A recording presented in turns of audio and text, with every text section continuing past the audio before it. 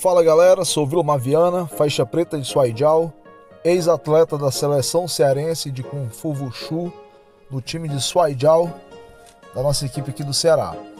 Hoje vamos compartilhar aqui com vocês uma aula bem bacana de Suaijau com essa turminha iniciante. Essa aí foi uma dinâmica inicial para a galera soltar o quadril, aprender as técnicas de entrada de quadril. E aí a gente usou essa dinâmica com bastão para a galera começar a ter uma noção desse movimento de rotação do quadril ao projetar, ao realizar uma queda de quadril, tá certo? Então, como a gente trabalha isso o tempo inteiro, eu usei essa dinâmica para que eles possam pegar os movimentos. Essas são as primeiras técnicas de Swai que eles estão aprendendo, a primeira aula deles, o primeiro contato deles com Swai essa daí é uma turminha nova, um novo horário que a gente abriu aqui na nossa academia em Pacuti, Ceará. E eles já estão treinando há algum tempo a parte de Kung Fu tradicional, a parte de Sandá, mas o Soidial, essa foi a primeira aula. A gente vai ter também aí algumas lutas bem bacanas, dá para ver aí que a turminha tá pegando legal. Mas eu quero convidar você a assistir esse vídeo até o final, por quê? Porque nos próximos meses, quando a gente compartilhar conteúdos dessa turma treinando Swaidial, dessa turminha lutando Swaidial, você vai ver a evolução desses garotos aí, tá certo? Por isso eu convido você a assistir até o final. As lutas aí no final também tá muito interessante, dá para ver umas técnicas aí bem bacanas saindo. Eles pouco a pouco estão aprendendo.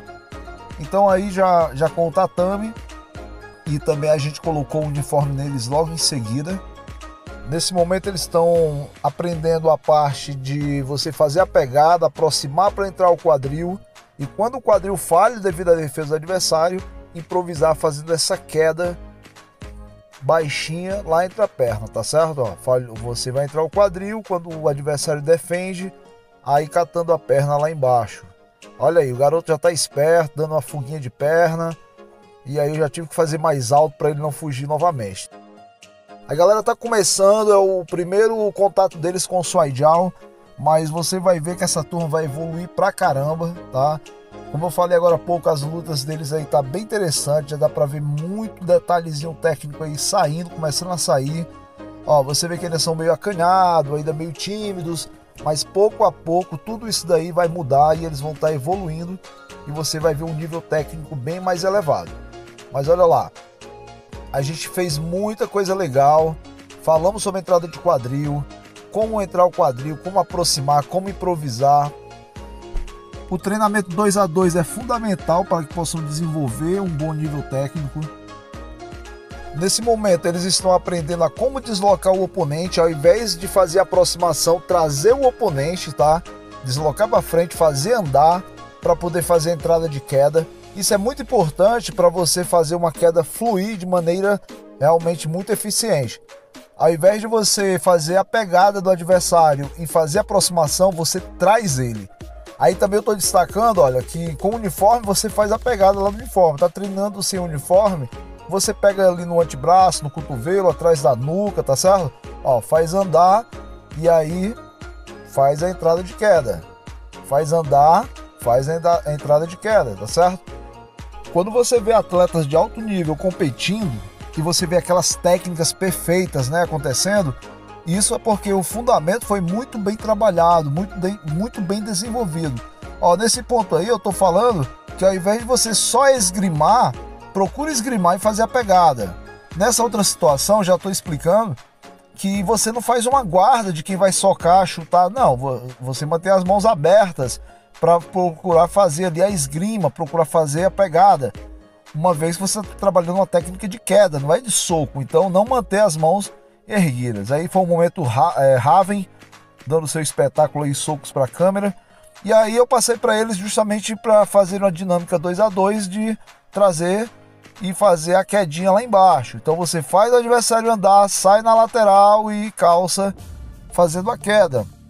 E aí depois disso eles foram treinar dois a dois, devagarinho, pouco a pouco foram treinar esse deslocamento com o calço embaixo para fazer a queda. Não adianta querer passar técnicas sofisticadas se o aluno ele não desenvolver o básico.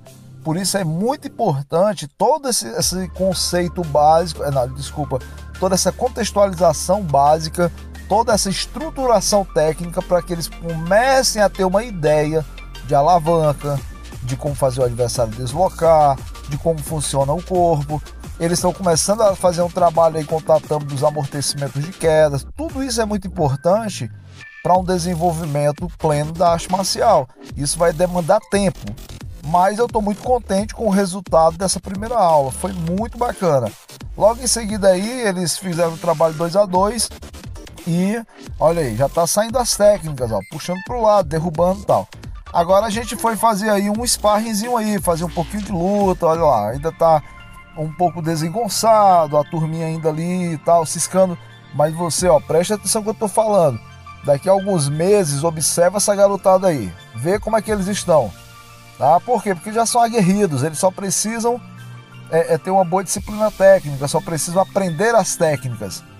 Mas logo logo você vai ver a evolução deles, porque são dedicados, eles. Claro, a gente tem uma parte, treina tudo de maneira bem lúdica mesmo, bem divertida, para que possam desenvolver um bom aprendizado, para que não seja uma aula chata, tá certo? Mas isso devido à idade deles. Mas olha aí, agora foram fazer uma lutinha 2 a 2 Ó, muito erro técnico ainda, é, girando, né? Rodando. Mas ó, já vai saindo uma técnica e outra, um calçozinho de perna embaixo. Ó, muita pressão, muito, mas é isso, faz parte, olha. Aí eles vão começar a tomar uma consciência de como funciona o corpo, de como você faz para derrubar, como faz para evitar cair. Ó, pouco a pouco foram saindo as técnicas. Uma coisa que eu observo é se durante esse sparring, se o aluno está aplicando aquilo que aprendeu. Se sair uma técnica que ele aprendeu durante a aula, eu já fico muito feliz. E isso me deixou feliz, porque eu vi várias técnicas. Olha a, a turminha, né? Roda, roda, brinca, mas é normal. Aí não tem uma consciência legal. Aí vem um lá, gaiato, ó, pula no tatame, faz parte, é turma infantil. Agora, claro, não pode deixar acontecer. Eu vou lá, chamo a atenção, ó, mando sair. Até porque quando ele estava treinando, quando ele estava fazendo sparring, estava todo mundo observando, né? Então não pode ir lá agora querer avacalhar o treino do colega. E aí, ó, turminha lá, treinando duro. Trago de volta para a área de segurança. E aí eles firmes na pegada, protegendo, ó, tentando, ó, uma das técnicas treinadas na aula saiu. Então assim, eu fico muito feliz porque, como eu digo, né, sair de uma técnica que o aluno treinou durante a aula, já fico contente. E quando a gente vê várias técnicas acontecendo, uma mudança de pegada, uma esgrima, um negócio, isso aí realmente deixa a gente muito feliz, porque a gente vê resultado da aula. Aí cumprimentaram, já vai outra turma, outra dupla. E aí já são um pouquinho maiores, aí já tem um. A gente tem que prestar bem mais atenção ainda para que não se machuquem. Porque às vezes existe um exagero de força, né? Ainda não estão dominando os movimentos. Ó, trabalhando a perna embaixo, o outro já evitou a queda. Eu sempre fico de olho ali para que ele se mantenha no área de segurança, que é o centro do tatame. Ó, já conseguiu fazer a queda, partiu para comemoração, faz parte, é isso aí. E ó, você vê que tem uma pegada ali na mesma altura, o que dificulta realizar a queda. Outra coisa que eu estou dando dica aí, olha, é para evitar o movimento muito aberto dos braços, mas fazer uma esgrima e uns ataques com o braço mais diretos, movimento mais curto ao invés de tão longo e circulares com as mãos, né? Então aí a turminha continuou um pouco mais. Eu gostei porque eles estavam desenvolvendo bem, então deixei ficar um pouco mais de tempo.